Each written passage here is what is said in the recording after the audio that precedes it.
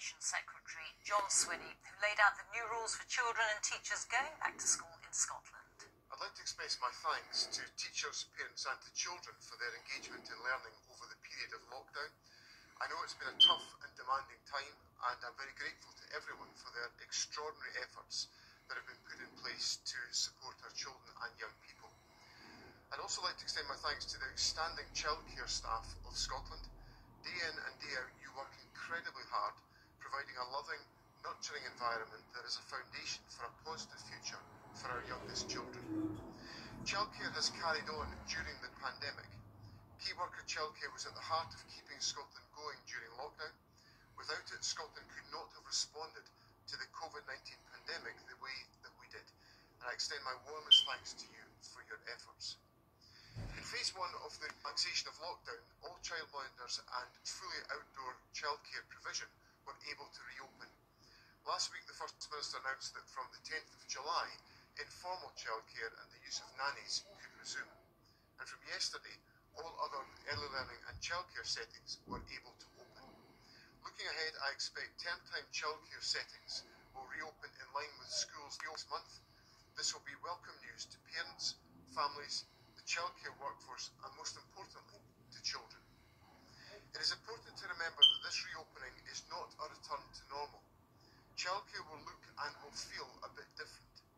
Some public health restrictions will remain in place at that time.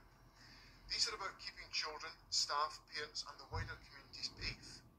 At their heart is the need to reduce the overall number of contacts that we each have in order that we can suppress the virus. We've issued guidance for the safe reopening of early learning and childcare and school age childcare services that was created in collaboration with the sector and focuses on child and staff wellbeing and safety. This approach means that providers have had to adapt their approach. It will have had an impact on how many children can attend a setting and may mean settings have had to spend money to reopen safely. I want to make clear that I do not want to keep these restrictions in place any longer than is necessary.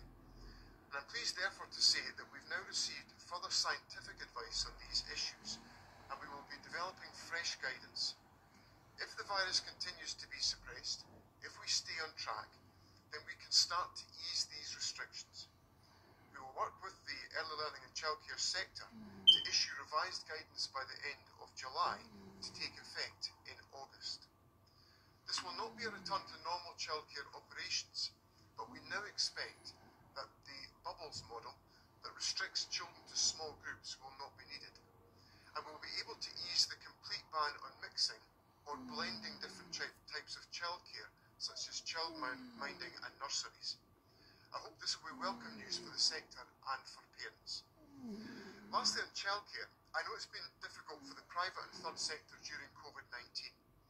And I know that the transition to the new way of working that the virus requires, of increased cleaning, additional equipment, developing outdoor space, and adaptations to support the physical distancing of adults, will all mean more financial pressure. The childcare sector is essential to our economic recovery. I'm therefore announcing that we will create a transitional fund for the childcare sector to the value of £11.2 million to financially support the reopening of childcare services. I'm also delighted to announce that today a new workforce support fund for childminders is opening for applications. It will see the Scottish Government and the Scottish Childminding Association jointly provide grants to childminders to help them adapt to the reality of the virus. Turning finally to schools, work is ongoing to plan for the safe resumption of full-time schooling for all pupils in August. This morning we have published the scientific advice that will inform the approach that is taken to plan for this aim. This advice remains conditional on general community factors such as reductions in infection rates, confidence and surveillance measures, and a process for handling local outbreaks, all of which will be informed by the advice of the COVID 19 Advisory Group on Education and Children's Issues. The advice we have now received, however, sets out that no physical distancing is required between children and young people in primary and secondary schools.